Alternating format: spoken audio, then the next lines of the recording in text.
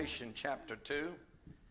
I feel that that's the most appropriate place to start on a New Year's Eve night is go to the book of Revelation.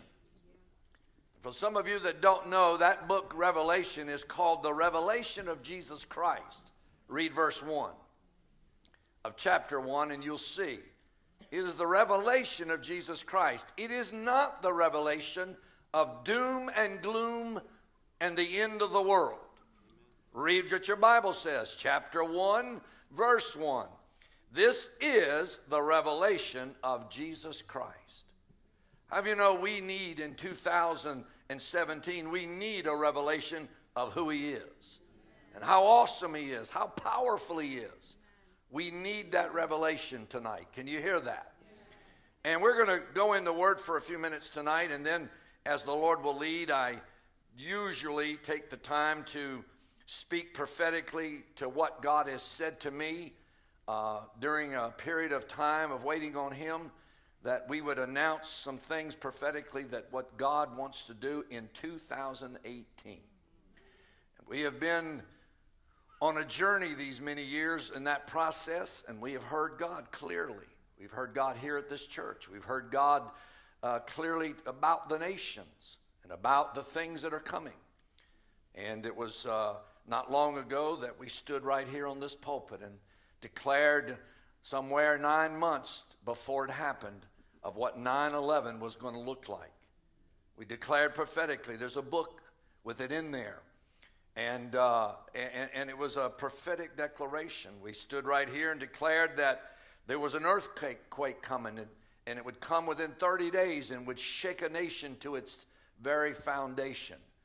It was not within, it was about 30 days uh, that Haiti was just shook violently with that earthquake that devastated it.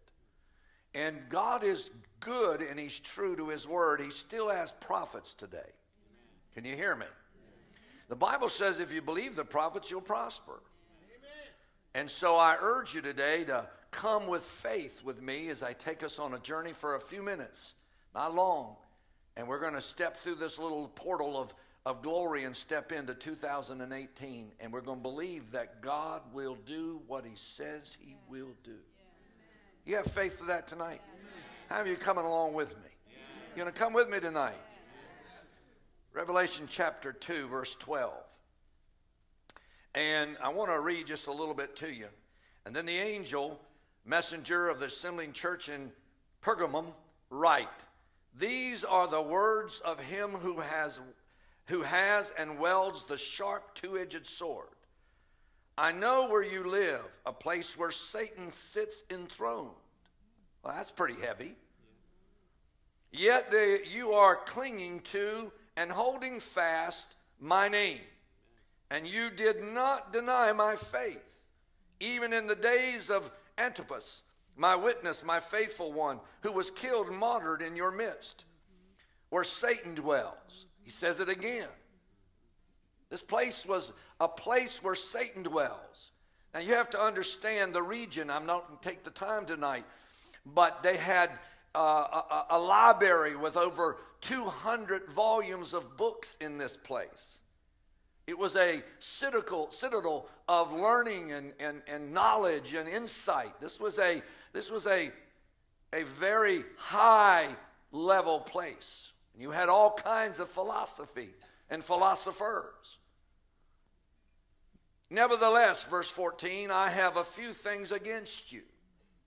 You know, these seven churches in the book of Revelation that Jesus reveals to the Apostle John on the Isle of Patmos there, and he's telling him what these churches represent the church of Ephesus and different ones that Thessalonica and different ones. He's talking about those cities and those regions and how the church's role played out in those places. And he said, Nevertheless, I have a few things against you. Uh, you have some people there who are clinging to the teaching of Balaam, who taught Balak to set a trap and a stumbling block before the sons of Israel to entice them, to eat food that had been sacrificed to idols, and to practice lewdness, giving themselves up to sex, sexual vice. You also have some who are similar, who in a similar way are clinging to the teachings of Nicolaitans, those corrupters of people, which things I hate. These were some of those scholars and some of those uh, uh, uh, teachers that were teaching another doctrine other than the doctrine of Christ. And he said, verse 16, repent. Repent then, or else I will come to you quickly, and I will fight against them with the sword of my mouth. How many know God uh, said, if, if, if you don't repent, I'm going to come and I'm going to fight against you with the sword of my mouth. What that means is, is God says something, his, his, his words are sharper than a two edged sword. Can you hear that? Now, watch this. Watch this story. This is a story of, of, of the revelation of Jesus now. But Pergamos is the third church of the seven churches. Pergamos means, uh, from the Greek language, mixed marriage or much marriage. I'll say it again. That word Pergamos means mixed marriage. Now, in this prophetic statement here, and, and what uh, John is having revealed to him by the Holy Spirit, by the uh, understanding of the spiritual things that he was perceiving here, he began to understand this piece. And I'm going to open it up a little bit here for us so we can see it because it has to do with the prophetic word that God has dropped in my heart. And again, Pergamos means the Greek mixed marriage. Boy, is it true today that the church, this is about the church now, this is not talking about uh, uh, the, the heathen, it's talking to the church. Have you here tonight? How many of you here tonight? Let me hear from you. You're the church. So that's the word for you. And it says mixed marriage. That what that means is that we've we've brought some things into our lives uh, and we've got a, a mixed marriage in the sense that we're married to two at one time.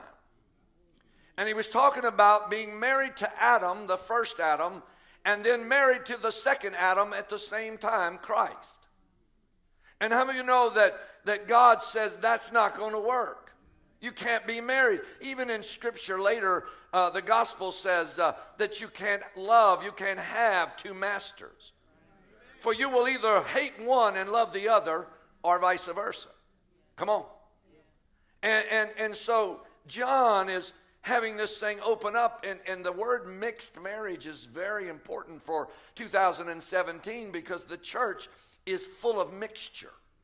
We got a little bit of the power of God, and we got a little bit of just some soulish stuff. We got a little bit of Jesus, and we got a little bit of just some soul, some carnal things. Come on. And you understand that in that world, you can't live in either, you can't live in those two worlds at the same time. Come on. How many know you can't be in this day of, of, of serving God and try to live in two different worlds? Do you hear me tonight? And that double mindedness is what the scripture says. When you are double minded, you've got two choices constantly. You're unstable in all of your ways. Have you hear that? People who are double minded, they can't make up their mind who they're going to serve. Jesus talked about it again in the Gospels. He said, You're going to either serve mammon or you're going to serve me. Mammon is money and some other things. And so it helps us to understand that this church is one of mixture and duality.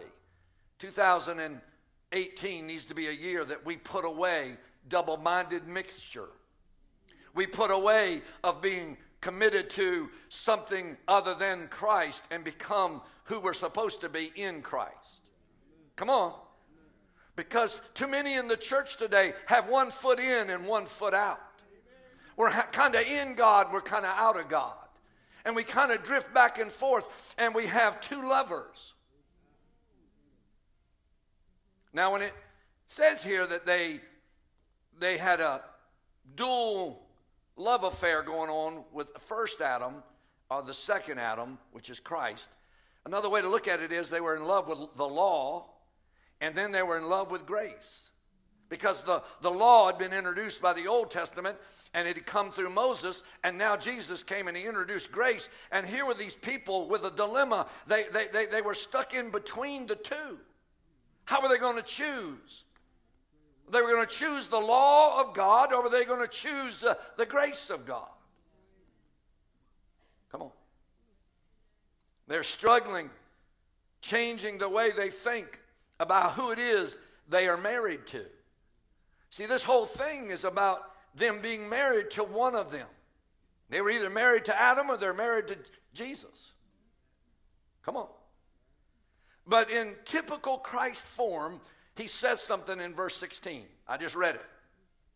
He said, Out of his mouth went a sharp two edged sword, and his countenance, it says in one translation, was as the sun shineth in his strength. What that means is, out of his countenance came revelation. How do you know revelation brings illumination? Moses goes up the hill, gets revelation, comes down, and his face is glowing because he's got not only revelation, but he's got an illumination. See, revelation makes you understand the mystery of the, of the plan of God, the purpose of God.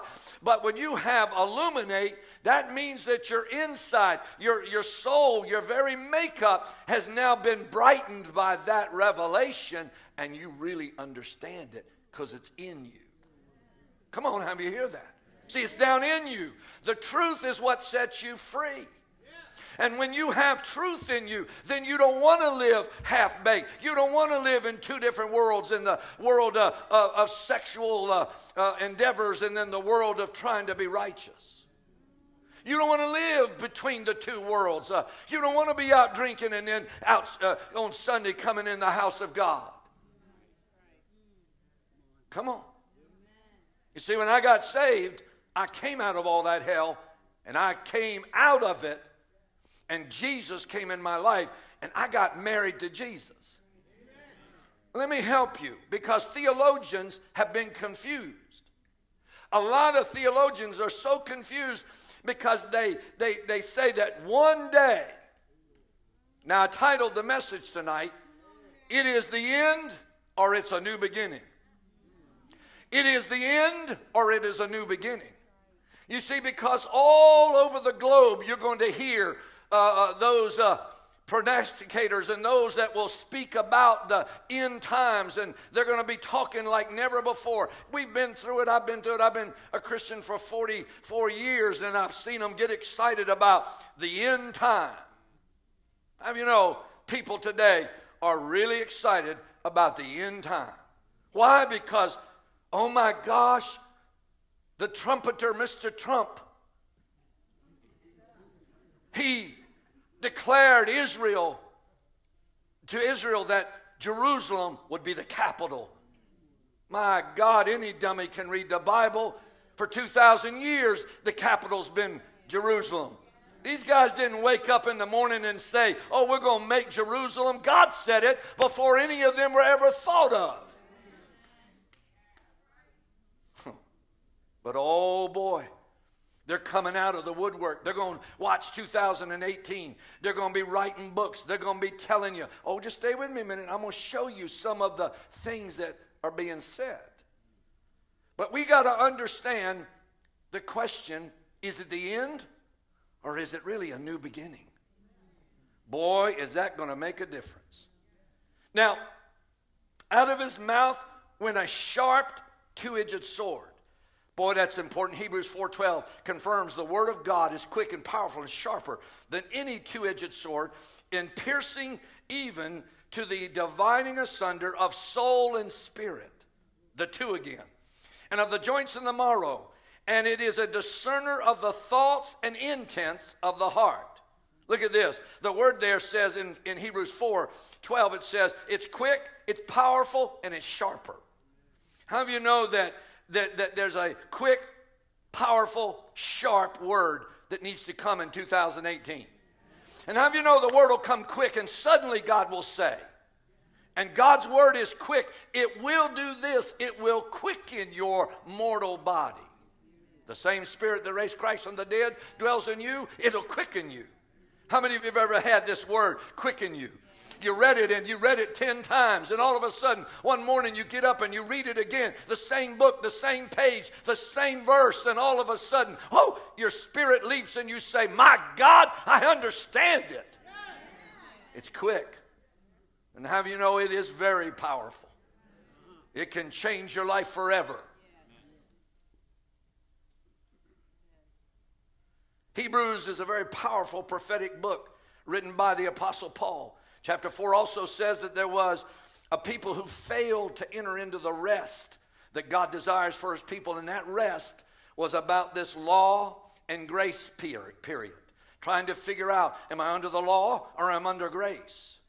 And so there was a people that, that says in the book of uh, uh, Hebrews there that they failed to enter into a rest. See, when you realize that under grace it is a finished work that Jesus did. It is not a work to be done, uh, it is not a work that's coming, uh, it is a work that's done. You see, when I got saved, uh, I got born again and, I got married to Jesus. And, and, and preachers have been preaching that one day, one day, I'm so tired of hearing about one day. And in one day, one day God's going to do, one day God's going to be. And then all of a sudden, preachers start saying, well, you know, one day Jesus is going to come back and there's going to be a great marriage and the, lamb, and the supper of the Lamb and we're going to be married to the Lord. Shut up. Don't tell me that. Because you just busted me. I've been having an affair for the last 44 years because I become passionate in love with Him. He is intimate with me and me with Him.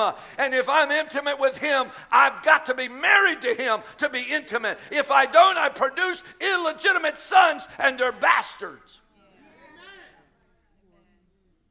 But if you understand the kingdom of God and you understand the Word of God, you are not dealing with that law of the past uh, of having to go and offer sacrifice for sin over and over and over again every year, but you once and once for all entered into the grace of God. Uh, he died, bled, uh, and he rose from the dead for you. And because of it, you are done, you are finished, you are born again, you're a new creature.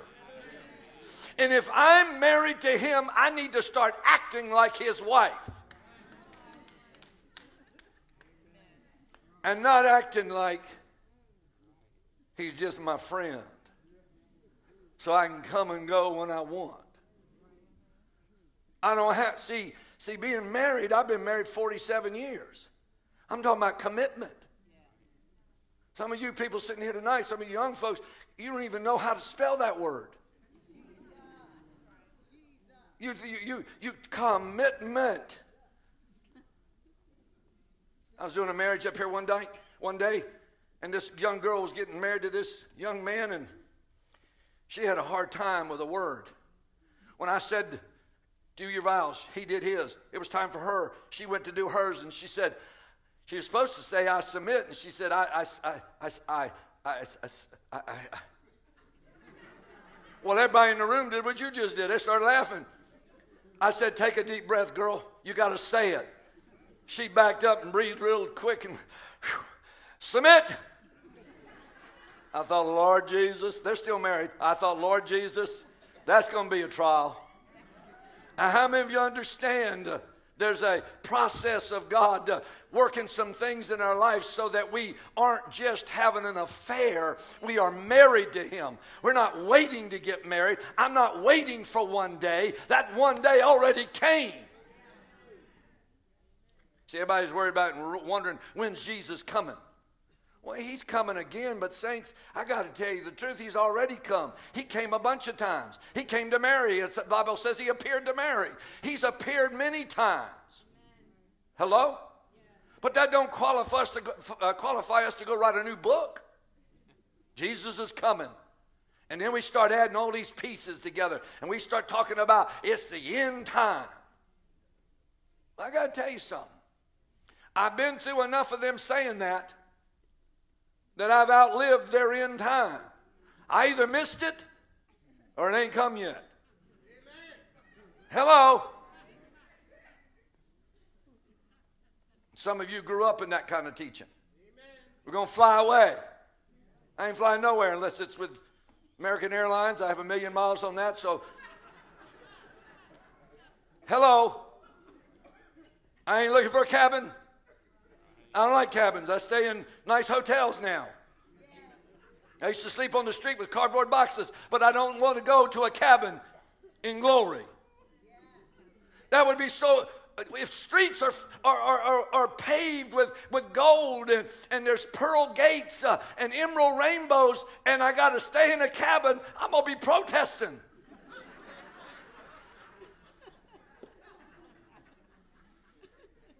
Come with me.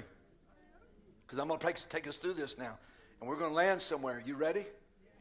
Now, the rest is from the works based relationship to a finished based relationship with Christ. Hebrews 1 1 and 2. God, who is at sundry times and in divers manners spoke in time past unto the fathers by the prophets, has in these last days spoken unto us by his Son, whom he hath appointed heir of all things, and by whom also he made the world. You know he says a key word here? It says, spoke in times past unto the fathers by the prophets, hath in the hath in these last days. What's that word hath mean? It means past tense. He already spoke. Can I get can I get your attention tonight? You see, we've been waiting for him to speak. We've been waiting for him to come. And we've missed when he's been here. We've been going around saying one day, one day Jesus is going to come back. Well, all right. I don't know if I'm going to be here, but I thank God 44 years ago in February, He came, but He came to me. And I got saved, I got born again. Have you glad He came? How Have you know He'll come again? But how have you know, we cannot let the world uh, teach us these funny ideas of us standing at the window instead of putting our hand to the plow. We're standing at the window. He's coming. He's coming. Shut up. Put your hand on the plow and plow your field till he does come. Wow. Got to hear this, don't we? Now, Paul referred to these times as the last days. 1 John 2 18, 19. Little children, little children, it is the last time. Matthew 24, please put it on the board. Matthew 24, because that's a very important part of what I'm saying here tonight. Matthew 24, please look at it. And, and, and, it's, it's so amazing here. Jesus departed from the temple area and was going on his way. When his disciples came up to him to call his attention to the buildings of the temple and point them out to him. And he answered them, Do you see all these? Truly I tell you that they will not be left here one stone upon another that will not be thrown down. And while he was seated on the Mount of Olives, the disciples came to him privately and said, Tell us, when will this take place? And what will be the sign of your coming of the end, of the completion, the consummation of the age? And Jesus answers them. What does he say? His first words Be careful that no one misleads you. Oh, come on, saints. First off, he ain't telling them anything. He starts off by saying, Don't let anybody mislead you. You deceiving you are deceiving you, leading you into error. That's verse 4. For many will come in, my, uh, in on the strength of my name, appropriating the name which belongs to me, saying, I am the Christ the Messiah, and they will lead many astray. Verse 6 is what I wanted you to see tonight. And you will hear of wars and rumors of wars. See that you are not frightened or troubled, for this must take place, but the end is not yet. You say it out loud with me. The end is not yet. You know, people say, oh my God, we're going to war with the little guy in North Korea and the pajama guy. You know, we're, we're going to go to war with him. Let me tell you something, saints. There's one church in South Korea that's got 800,000 people. I've been there, I've been in those meetings. I can tell you for a fact they got 800,000 born again, spirit filled believers in that church. That's not only that church. They got a prayer mountain that's got 25,000 people that pray every single day. They got these things called grottas. They're holes in the cave where you go in and stay for 30, 40 days at a time and fast and pray. And you can walk up there and hear the mountain rumbling with people's voices being magnified up to the Lord as they pray through the days and the nights as they fast. And you mean to tell me that 800,000 people are praying and haven't bowed their knee to Baal, and that little guy in the pajama is going to be able to do something that's going to disrupt what God's plan is? Oh, I'm here to tell you, we have listened to fools for too long. Because I want to tell you something the earth is the Lord's. The earth is the Lord's, and the fullness thereof, and all that dwell therein. You say, well, don't you worry about him. He's going to bomb somebody. Let me tell you what's going to happen. There'll be something that happens, but it won't be that it's man done. It'll be something that God does. Change is coming in that regime. Trust me when I tell you. I told this church over a year ago when there was panic everywhere about he's going to take us to war. We're going to war. I said, stop it. God hadn't told me we're going to war, and we won't go to war till I hear from God. He said, Well, that's an arrogant statement. No, he said he will not do that which he's not performed or spoke to his prophets before he does it. Now you can say amen or oh me. I'm telling you the truth today. Watch this. I'm going to prophesy to you in a minute. I want you to hear the word of the Lord for 2018. But I got to give you this basis of an understanding. Before we explain further the whole dual marriage mentality dealing with the old the, the old, the Adam, the old nature, the Old Testament, the whole process, the law, and embracing the new life in Christ, we need to address the current hysteria that's not new, but it's old, and it's called the end time last days. How many of you hear me? And, and it's increasing. It's increasing and it's going to increase. You're going to hear it more than you've ever heard it before we are addicted to and have been from the beginning of time to the end. Now, how dumb is that? We are so after the end. Why would you want to know the end? Because if it's the end, you're dead. Man, I don't want to know that. I came to live. Listen, I was dodging bullets and getting out of jail, and finally I got a chance to live, and now I want to die. I don't want to know what the end is. I want to know what my world uh, purpose is. Can you hear me tonight? Say, well, you don't believe that Jesus is coming back? Yes, I do. I do believe that. I just don't believe that we're supposed to pack our bags and sit on the curb and wait till he comes because there are a lot of people that need to come to Jesus and need to say, How do I get saved? Uh, and I'm not packing my bags waiting for His glory. I'm going to go ahead and walk in His glory. I'm going to walk in His anointed because I am the bride. Uh, I'm already married. Uh, I have intimate relationship with the King of Kings, uh, and I bring Him to the party. When I show up, He comes because I bring Him. My wife don't ever go to a party that I ain't there. She brings me with her. You think about that.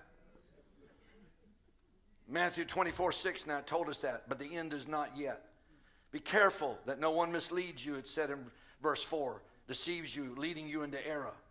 And by the way, all of these events Jesus was referring to were happening at his time in the earth. They were happening right then. When he was talking about the end, he was talking about right then. And there's a whole other world there.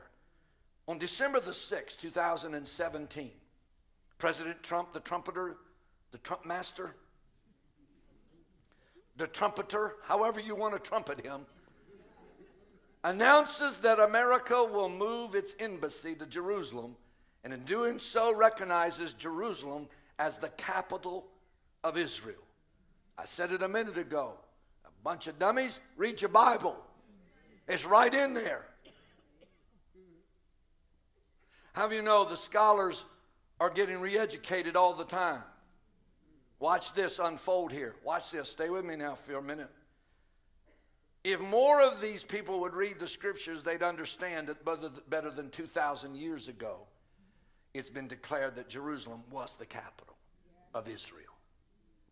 Zechariah chapter 12, verse 3 I will make Jerusalem a burdensome stone. Oh, you got to read Zechariah chapter 12, and it'll tell you right there, saints. It'll tell you that Jerusalem was always meant to be, Zion was meant to be what it is to Israel. Can you hear that? There are five events unfolding right now from this declaration that Donald Trump, President Donald Trump, made Here's five things that are starting to escalate already. You can look it up, you can check it out, but I'm telling you prophetically, it's already opening the door of this. Watch what I tell you. These five events, Jerusalem acknowledges as being acknowledged as the capital of Israel now, and nations are starting to put move their embassies there. It'll take us two to three years to build our embassy because it's so large. But here's the thing that's going to flip everybody out. I'll give you the other ones. The Bible says that there's going to be a, the temple's going to be rebuilt. Well, here's what's going to happen they're going to build it in the wrong place. They're going to build it on the dome of the rock, but that's not where it is. It is in the city of David. Solomon's temple was in the city of David, which is 1,200 feet from Jerusalem. It is right outside, it is 1,200 feet, and that's where the temple will be found and they're going to go and build it on top of the dome of the rock. And look, it, the, the Arabs and everybody going to freak out, and we're going to go to World War III, and they're all going to war over the thing being put in the wrong place. But mark what I tell you prophetic understanding through scholars, through uh, those that are uh, uh, those that study the uh, ruins of things, uh, uh, and it's just starting to come out. Revelation is bringing illumination, and the head guy that's the archaeologist for Jerusalem has now discovered that all these years they've been looking at it in the wrong place. Oh, it's going to shift, saints. And have you know they'll build the temple and it won't have to be World War III. That's going to mess up a bunch of theologians. They'll have to get a new book. People will continue to return to Israel. It's going to happen and it is happening. Nations will rage against Jerusalem. Nations like the United Nations, with 138 people, 138 countries, attacked Israel, attacked America for supporting Israel and Jerusalem as being the capital that's going on right now. Zechariah chapter 14, verse 1 and 3 tells you. Nations will rage against Jerusalem. And then it's number four is Armageddon. Armageddon is a valley, and that's where this big war is supposed to happen. And then number five, they're going to build the temple again. Let me tell you something quickly about the temple. They will build the temple. I mean, they've already started work, they've already got things going to make the temple happen and preachers are going to preach about it till it's till it, they're, they're tired. But let me tell you something, saints. God's church of the redeemed, who's married to Christ and not married to the first Adam, are not going to celebrate in a temple that we have to offer goats and bulls and lambs because Jesus is the lamb slain from the foundation of the world. We are not going to Jerusalem to slay animals and go through that Old Testament process again because Jesus paid it all once and for all. It's done and people will get all lit up and get all into this thing. We're going, they're going to build a temple. Ah, that's the end time. No, it ain't. It ain't the end time. And I guarantee if God lets me live long enough, you come see me, I'll be here. And it won't be the end of time. Because that's not what God was trying to show us. How many you know instead of seeing, just imagine with me for a minute. Imagine it's not the end, but the beginning. Imagine it's not the end of time, but the beginning of something brand new where God raises up his chosen to live on the earth. Oh, what a marvelous thought. Have you know, saints, too many people have been wanting to fly away. But I'm going to tell you what. See, I used to get mad when I first got saved because, uh, you know, we were told to put on the armor of God. And then somebody started teaching we were all going to fly away. I got ticked off because you put me in armor, I'm thinking I'm going in for a good fight. I got dressed up to go fight. I love to fight. I used to love to box. I didn't like getting hit, but I like to box. Now I had the armor of God, had my feet thing, had my shield, I had my sword, had my belt on. I'm ready. We're going to fly away.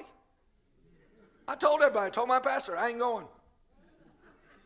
Y'all go, I'm going to stay here. Have you know God didn't make me a conqueror to fly away? What am I going to conquer in heaven? Ain't nothing to conquer in heaven. I got to conquer something down here. Whoa. Still there? Do you know? This is amazing now. 1917, the Balfour Agreement. The Lord was restored. The Lord restored to Israel uh, the land. The Lord restored to Israel the land known as Israel, but not Jerusalem as the capital. That was in 1917. 50 years later, 50 years is Jubilee, and 50 years later is the celebration of the Jubilee. One of the victors' celebration is the land returned in 1967, restoration of Jerusalem in the Six Day War. I have a Jew sitting in here and he's shaking his head looking at me. He knows what I'm telling you. Now, after the Six Day War that happened, listen to this 50 years later makes it 2000, makes it December the 6th, 2017. 50 years later, Jubilee. We went from 67 to 17. And in that, it's 50 years. 50 years, the year of Jubilee. 49 is really the 49 years of Jubilee, but it's the 50th year that you celebrated. Is God doing something? Oh, yeah, God's doing something. Can you hear me today? And, and next week, I mean, the next event to watch is May the 14th, 2018. May the 14th, 2018, Israel will celebrate her 70th, 70th anniversary as a reformed nation. Israel was resurrected as a nation May the 14th, 1948. 1948, one year before I was born. Now, some believe that this is the Daniel 9, 24, 27. So, seven years from 2018 is 2025. And 25. And so they're going to start talking about that we're getting ready to go into the period of tribulation after May the 14th. Watch what I tell you. May the 14th is going to unleash the most confused mess. They're on TV already. They're doing videos. They're doing YouTube. And they're all talking about it. Coming up, May 14th, and in seven years. Wow. We're going to be in the middle of the tribulation. That gives me tribulation. You say, well, you're making fun. No, I'm not making fun. But I can tell you this by vain traditions, we bring to null effect the commandments of God. And people are so hard headed, they won't face the truth and they'll hold on to something from the past. I'm not going to Jerusalem. I've been there many times. I preached there. I'm not going there to sacrifice some animals in some new temple. I bring my sacrifice every morning before my God, uh, and I offer to Him the my sacrifice of the fruit of my lips. Wow. Here you go. Now we're going down. 1 Thessalonians chapter 5, verse 1 to 11. We're getting there. We're going to land here. I'm going to give you something to think about. I'm going to tell you what's going to happen in China, what's going to happen in Turkey, what's going to happen in, in some other countries. And uh, there's some countries that God's going to use and that God's going to stir some things up. Are you listening to me? I'm going to talk to you about artificial intelligence and what it does and what it's going to play, the AI is going to have a role to play. But you got to listen to me for a minute. Are you still with me? Some of you sit there, you get comfortable, you start sleeping. Just pinch yourself or stand up, shout, act like you're spiritual. Everybody else will say, oh, that person's on fire for God. No, you just woke up.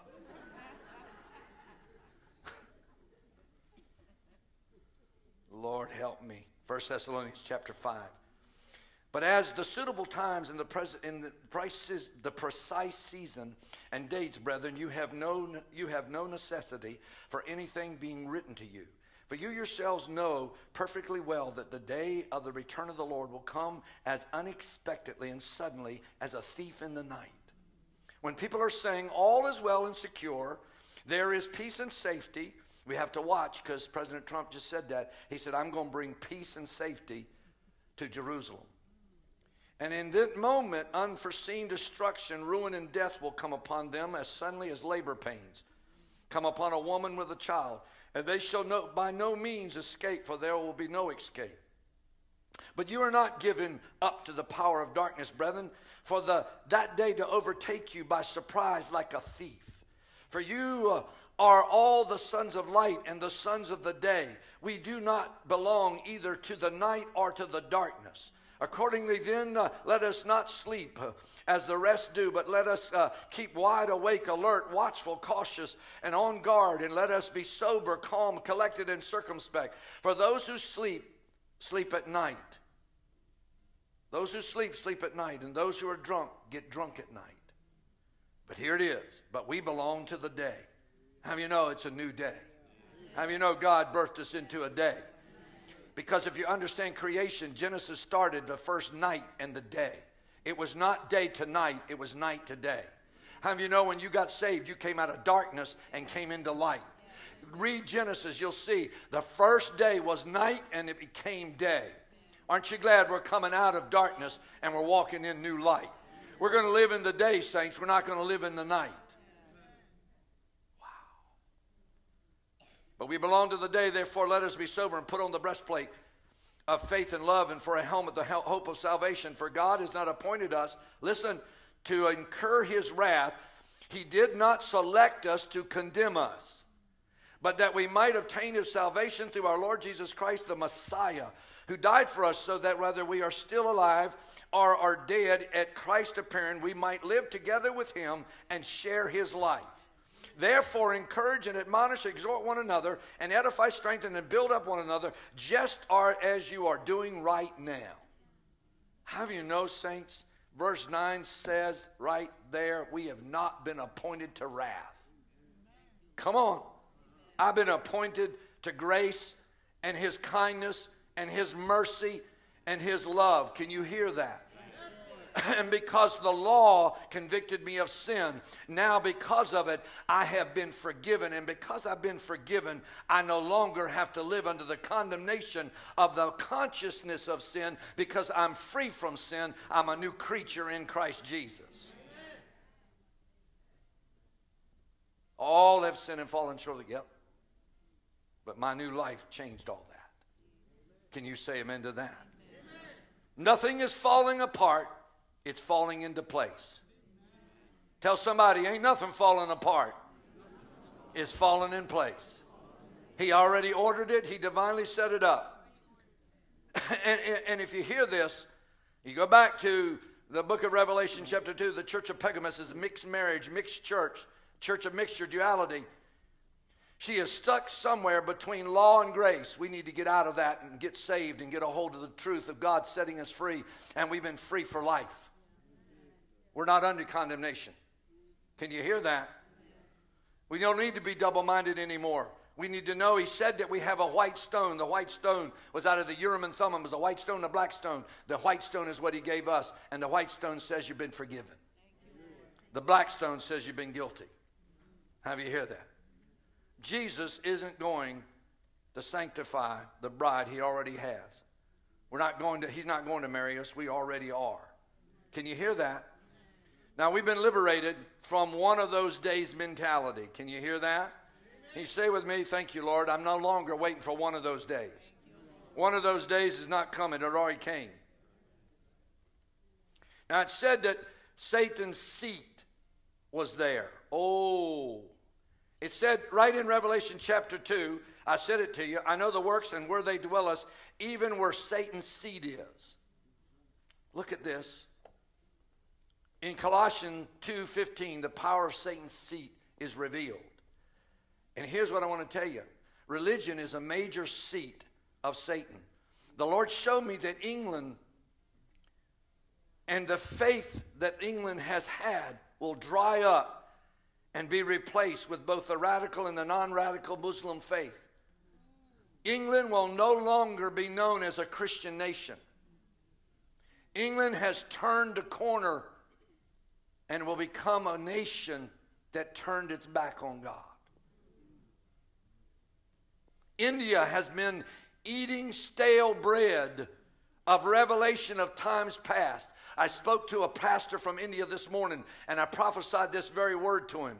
Your father, I prophesied to him that you got to go home and stop feeding the people of India stale bread. Stale bread is old revelation. You got this bread right here that's on this pulpit. Uh, this bread right here is made today. It's fresh bread. How do you know God wants to give us fresh manna, fresh bread? Not some old dead revelation, some old dead practice that don't work anymore. That dead bread, that revelation of the past, and, it's, it, and that its faith has been so mixed with so many religions in India, it will be the center for demonic occultist worship, and the witness of Christ will all but dry up. India's in trouble unless its preachers repent and begin to repent and begin to preach the now message of the kingdom and stop preaching old things they learned back 30 years ago. Have you know one of the problems in the church today is we've been serving people old food. This is not last day rations that we serve people. This is fresh manna that drops down by the Holy Ghost out of the heavens tonight. That God will give us a fresh word for right where we stand. Can you hear that? We don't need any more stale bread. Until and if the New Day church arises with fresh revelation, like Revelation 2.16, the countenance was a sun shineth in the strength. Persecution's going to arise in China. Again, as the government replaces God as its source. China is going to experience such growth and such demand that government will become better than God. Because you take a communist people and you turn them around and you give them everything they ever dreamed of, and it comes from the source of the government, they will say the government is our God and not any invisible God.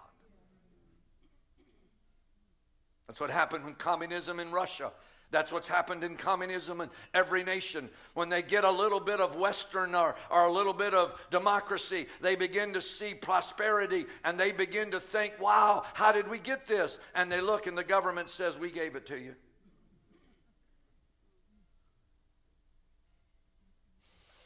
Wow. The Olympics will become increasingly more corrupt and will be exposed for it. Sexual issues will rise and these issues will steal the games. The games will become no longer a game of excitement. Kids will no longer be sent there and want to go there because of the corruption of these games. The pedophiles and the predators that hide within the doctor's ranks and hide within the coach's ranks will take advantage of young men and young women and ruin generations because of the pollution of their soul. There will be disruptions in the games from within and from without. And again, sexual issues will be exposed. Predators are planning to devour our young people. Watch the television, you'll see when the Olympics start, you'll see issue after issue. How many of you know you see right now, all the time you turn on the TV and somebody else is being exposed? Some kind of sexual things being exposed, isn't that right? Well, watch what happens with the Olympics. It's going to be the same thing. Money, money issues will continue to rise. Europe will pu- uh, purpose doing away with cash. They already are. And the Bitcoin is not going to win. The Bitcoin's not going to make it. The banks won't let the Bitcoin succeed. They'll replace it with their own system. The economy is going to grow in America. It's going to be a great year of prosperity, but it is going to be a year of every kind of shaking you've ever dreamed of but it will be almost an oxymoron because it'll be a time where blessing and prosperity is just flowing at the same time. Everything that can be shaken will be shaken. Put your eyes on California, for there will be a thing that happens in California, and it will be a, a, a very powerful, very powerful act of God. Men will call it an act of God and it will stun people what's going to happen. Write it down.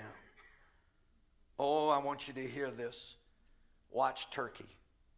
You know, I was talking about banks The banks told some of my elders the other day they don't want to work with nonprofits. They've been told across the board, banks around the United States have been taught, told don't work with the nonprofits. That's alarming because they want the church to not be able to survive. And if God's people don't hear that and begin to be generous and begin to support what they believe is the house of God, then the house of God will cease to exist.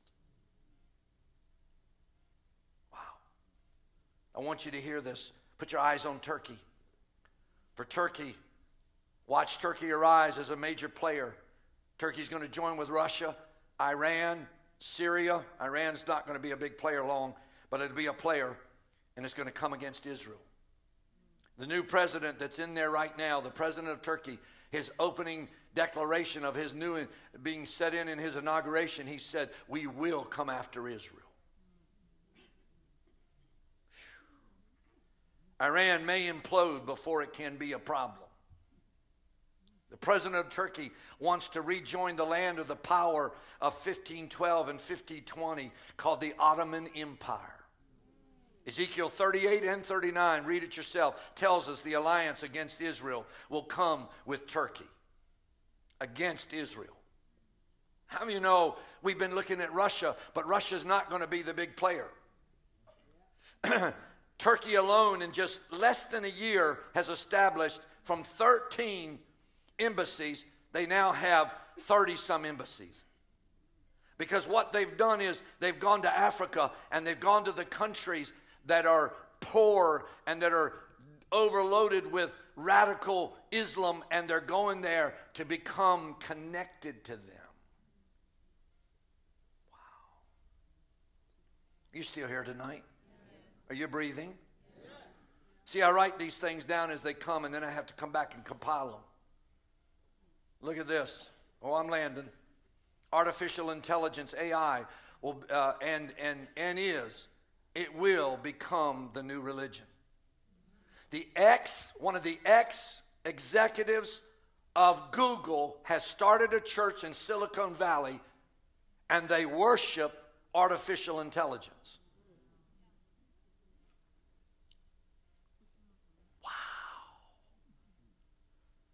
Artificial intelligence is dangerous. Hello? Because, saints, in time, they will be smarter than us. We will not tell them, they will tell us. Google is already, can you imagine Google and all these places? They take their children and they send them to schools where they don't allow the electronics that they sell us to work because they realize the danger of what's happening there, the inundation of information and of garbage that's being downloaded into a generation. And we haven't lived long enough through this electronic world. We haven't lived long enough through all of these machines to really have a measure of what is the consequences of it, like we have with cigarettes. We now know they cause trouble. trust me, artificial intelligence is going to be a major issue. You ever heard of microchipping? Microchipping is going to be a fad like tattooing. People are going to flock to places and get it done.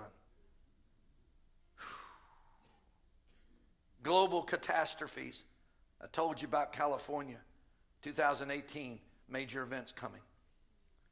The sun's going to blow another hot solar flare called a CMA E, a CME, a liquid ball of sun fire is going to be released. 2012, a ball of fire got released, and we didn't know about it. And it got one week within our solar system. And if it had gotten in our solar system, it would have hit the earth.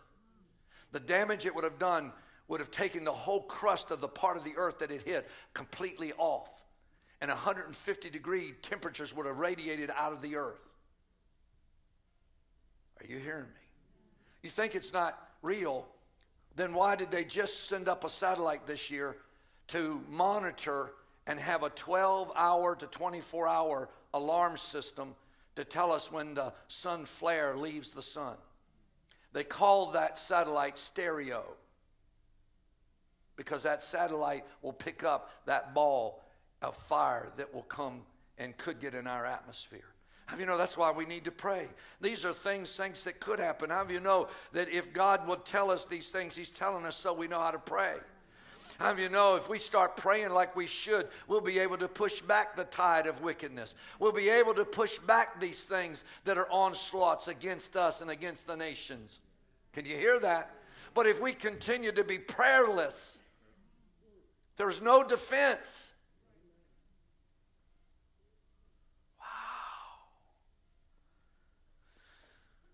Must be a level of prayer a rise in the level of prayers like the swarming locust that we prophesied about this morning to cover America and devour the enemy's plans before they are allowed to be hatched. We must know the weapons the enemy will use by discerning the his seat. Isaiah 54 17, no weapon formed against me shall prosper, and every tongue shall rise against you in judgment. You shall utterly condemn, for your righteousness uh, is from me, saith the Lord. Remember Colossians 2.14 talks about er, uh, Jesus taking the, the, the, the crucifixion of, of Satan, the, I mean, the crucifixion after the words, he took the, the, the paper that said that Satan had been defeated and he nailed it on the tree. And he said, Satan is defeated. How do you know, saints? He is defeated. The only weapon he has, that's the strongest weapon, is the accusation of accusing because he's the accuser of the brethren. That's why he keeps churches apart. That's why he keeps families apart. That's why he keeps saints apart because he's the accuser. He can't really do anything because he's been defeated. Are you hearing me tonight? I'll go back to Matthew chapter 24, and, and I'm going to close. Matthew 24. And if you go back to Matthew 24 and verse 6, what did I tell you? It said there in Matthew, it says, the end is not yet. I prophesy to you with my eyes open tonight that we are not going into the end. It's not this time for us to live always thinking one day. How do you know? I want to know that He's available right now. How do you know He can fill your life with His Spirit right now? He can heal you right here. Do you know He can save you and change your life right here, right now? For the God that we serve is not a God that one day He will do. How cruel would that be? I have three children and six grandchildren. I just sent them a robot picture of me, and every time I talk, the robot talks. It's on my phone. So I sent it to all my kids and said, Happy New Year. And they were sending back laughing stuff to me because I sent him these little square robot and he says, Merry Christmas, Happy New Year. And I was having fun with it and sending it to him. I don't want to tell you something, saints. We live in the most amazing day there's ever been. This is not the end, it is the beginning. It's a new day. It's a day for you and I to walk in the covenants of God and to believe that you're not going to get married, you are married. You are the bride of Christ. You're already been redeemed. You've already been set apart. You've been washed by the blood. You've been saved. Now, all that's left for us to do is live this way. We have to stop trying to live this way and begin to live this way and believe what God says. If He says, I am blessed, then I'm going to go around acting like I'm blessed. If He says, I am righteous, then I am the righteousness of God in Christ Jesus, and I'm not going to try, I am. Stand to your feet. Put your hands like you're trying to reach into heaven. Put them up there just like you're trying to move the clouds. Because right now, in, in just about a half a minute or a minute, it says it already is. We are in 2018.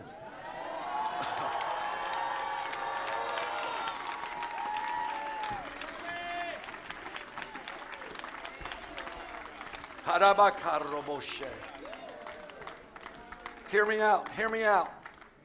The things that I said to you prophetically, those things that will come to pass, here's what we must understand. They have nothing to do with it just being because it's the end of time. How do you know they have to do with God and things that God is doing uh, and the earth is moving and shifting? It has to do with all those things. And we don't need to, every time there's an earthquake, write a new book.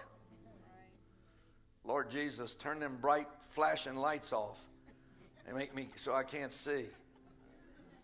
Have you understand that, saints, we don't need, we don't need to, to, to, to have another earthquake to say, okay, it's the end of time.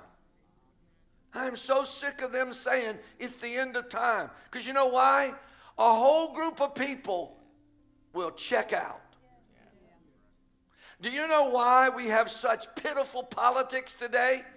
Because in the 50s, everybody was preaching about the rapture and we're going to fly away, and nobody was going to go to college, nobody was going to be around. The pulpits were confused, and they caused a generation to give up and not stand in the gap and make up the hedge. Have you know we need a generation that says, I've got time to live, and I'm going to live my life for Christ. And I'm going to live my life with all my heart and be used by God because I'm not going to see the end yet. You know, how dumb would it be to wait to the end of time and then you die of cancer the week next week? Why are you going to wait for that? Why are you going to wait for the end of time? How do you say, Lord, it's a new day? It's a new day.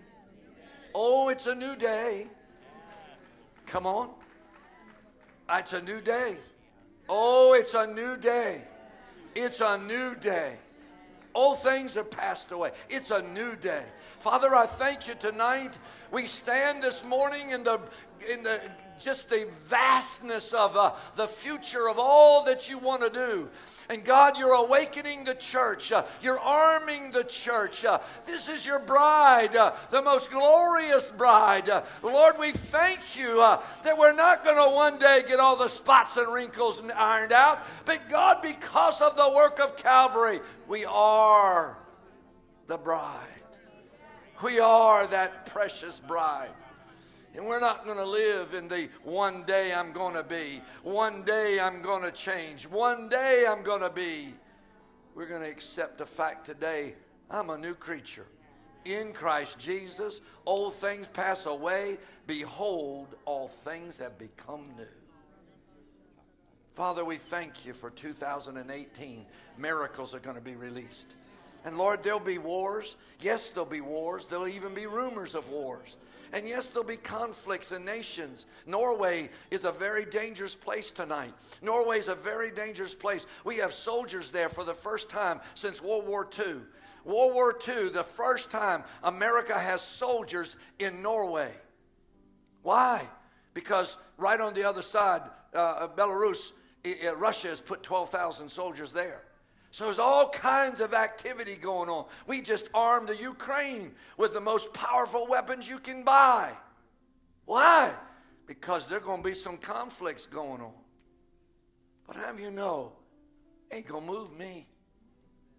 I'm not going to live in fear. I'm going to win another soul. I'm going to live my life happy in Jesus. I'm not going to buy all them books and then put them somewhere in a dumb room Go get Hal Lindsey's book, The Late Great Planet Earth. That book is still wrong. All those years, it's been in libraries and it ain't got right yet. Say, Thank you, Jesus. It's the truth that sets me free. Father, I pray right now for your people all over this room. The illumination of your word to our minds May it, God, uh, bring revelation, but may it bring illumination. So, Father, I pray all over this room, heads are bowed, no one looking around. This is 2018, and I want to be the very, very privileged person to be able to say to you that today, this morning, bright and early as it is, today is the best day of your life. Uh, you can give your life to Jesus, you can say yes to Him. Uh, he's the author and the finisher of your faith, uh, and you you can say, Jesus, come in my life and save me because I want to live for you. I don't want to die. I want to live, and I want to live for you in 2018. And while heads are bowed and we're praying in this room, if you're here, would you just hold your hand up and say, Pastor, pray for me? Yes, I see your hand. Put it up there. Hold it up. Put it up. Say, Yes, yes, yes, it's me. I want Jesus in my life, uh, and I want to live my life uh, as it is a new day. I see the hand back there. I see hands, uh, and I want you to hear me today. God uh, is going to bring you into his purposes in 2018. You raised your hand other than to worship, come and stand with us right now. If you wanted Jesus to come in your life, come stand with us right now. If that's you, come quickly, quickly, quickly. If you're here, just get out of your seat, come. I don't want to labor it. I saw hands going up, but maybe you were just worshiping. That's okay. That's okay. I'm not going to labor it. You want to come down and get saved? Get saved right now. Right now, today. Today.